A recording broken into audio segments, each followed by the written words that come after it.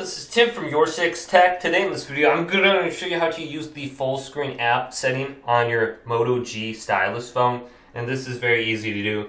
So if you want to use the entire screen for your applications, let's scroll on down from the top. Then go to settings. Now we want to go to where it says display, dark theme, font size, brightness. Select this.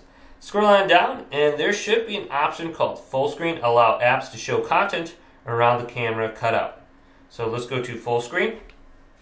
It says when full screen is on, apps show content across the entire display. Apps may need to restart before the change takes effect.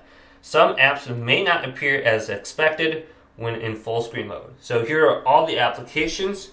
Now what I could do is just simply checkmark this and turn it on. So I'm going to do this to my web browser and maybe like YouTube. Then I can back out and then I can try it and just see if it takes up the entire screen, which it looks like it is. Then I can try out YouTube as well. But hopefully this video did indeed help you out. Did leave it a big thumbs up and subscribe to my channel down below for more tech up videos coming up next on Your Six Tech.